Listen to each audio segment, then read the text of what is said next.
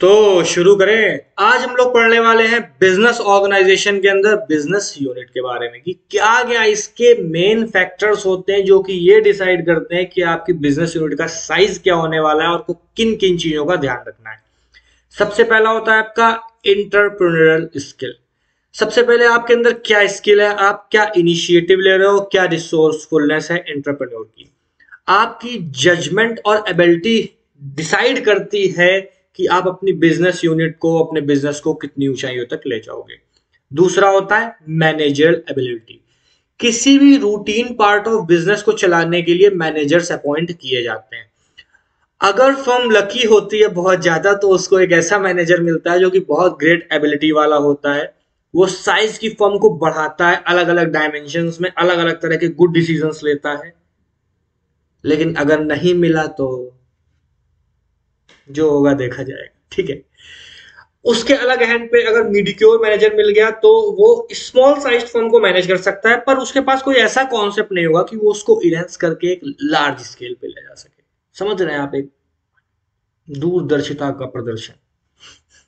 उसके बाद में अगर आपके बिज़नेस यूनिट की साइज़ को बढ़ाना है तो फाइनेंस जो है, आप किस तरीके से फिनेंस से अपनी मशीन्स को बूस्ट कर सकते हो? अगर आपके पास फंड्स अवेलेबल हैं तो ये इंटरप्रेन्योर के लिए बहुत इजी हो जाता है अपने बिज़नेस को ग्रो करना, ठीक है? चौथे नंबर पे आता है बिज़नेस को बढ़ाने के लिए यूनिट को आपके पास लेबर की अवेबिलिटी होनी चाहिए। वो भी लेबर नहीं गुड स्किल्स के साथ लेबर होना चाहिए आपके साथ, जो वर्क कर सके वर्कर और जो लोअर लेवल और मिडिल है, वो डिसाइड करता है कि बिज़नेस का फ्यूचर क्या होगा, क्योंकि उसके वर्क से ही आपके प्रोडक्ट की क्वालिटी अच्छी होगी और उसकी डिमांड बढ़ेगी। आपका बिज़नेस का नेचर क्या है? आपका बिज़नेस क्या है? वो किस तरीके के रिटर्न्स दे रहा है? वो कितना बड़ा हो सकता है? उसकी क्या डायमेंशन है? क्या कांस्टेंट रिटर्न्स है उसकी किसी एक स्टेगमेंट में? ठीक है? और आपका जो मार्केट है, वो कैसा है?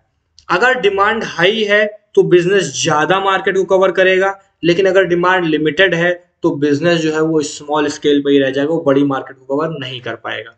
तो ये जो फैक्टर्स होते हैं ये डिसाइड करते हैं कि आपका बिज़नेस किस साइज़ तक ग्रो करने वाला है। आई होप सो पेपर के पॉइंट ऑफ़ व्यू से मैंने शॉर्ट में आपको बहुत अच्छी चीज़ों को कवर कर दिया बाकी आप इसका स्क्रीन शॉट लेके आराम से पढ़ सकते हो। अगर वीडियो पसंद आया तो वीडियो को लाइक करना और चैनल को सब्सक्राइब करना, जो बिज़नेस ऑर्गेनाइजेशन है, उसकी प्लेलिस्ट का लिंक डिस्क्रिप्शन में है।